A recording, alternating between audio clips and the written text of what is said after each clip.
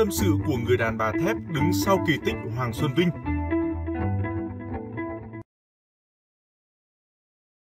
Từ Brazil, người đàn bà thép này đã không nén nổi xúc động khi nhắc đến chiến công của Hoàng Xuân Vinh.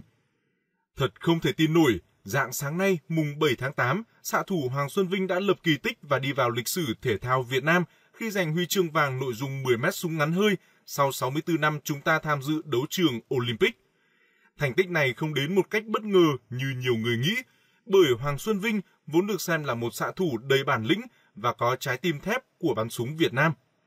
Ở tuổi 42, nhưng Hoàng Xuân Vinh ngày càng xuất sắc và đây là minh chứng. Anh từng giành huy chương vàng châu Á và vô địch cúp thế giới, đồng thời phá kỷ lục 10 mét súng hơi năm 2013. Đêm qua, những ai ngồi trước màn hình đều hồi hộp đợi và muốn rớt tim ra ngoài để chờ màn so tài giữa Xuân Vinh và vận động viên nước chủ nhà Felipe Almedagu. Quả thật, không nhiều người nghĩ Xuân Vinh sẽ làm nên điều kỳ diệu, bởi trước đó anh đã mắc sai lầm ở loạt bắn áp chót và để đối thủ vượt lên. Điều kỳ diệu đã xảy ra ở loạt bắn cuối. Với sự lạnh lùng và bản lĩnh của mình, Hoàng Xuân Vinh có loạt bắn hoàn hảo để vọt lên giành huy chương vàng.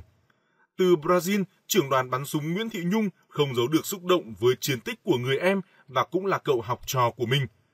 Bà nói, tôi sung sướng đến trào nước mắt, có lẽ chẳng ai dám nghĩ Hoàng Xuân Vinh lại làm được điều kỳ diệu như vậy cho thể thao Việt Nam.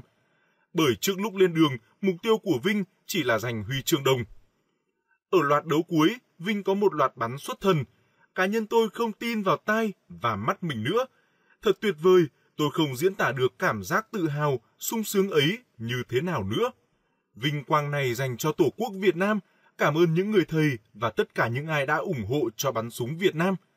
Tận đáy lòng tôi muốn cảm ơn người học trò vĩ đại này, cảm ơn một xạ thủ vĩ đại mà tôi được biết. Lịch sử đã gọi tên Hoàng Xuân Vinh, Việt Nam chiến thắng. Thưa quý vị, đây là lần thứ ba huấn luyện viên Nguyễn Thị Nhung dẫn đoàn bắn súng Việt Nam tham dự đấu trường Olympic. Hai lần trước, bắn súng đều trắng tay, nhưng tại Olympic 2016, Hoàng Xuân Vinh đã làm nên lịch sử.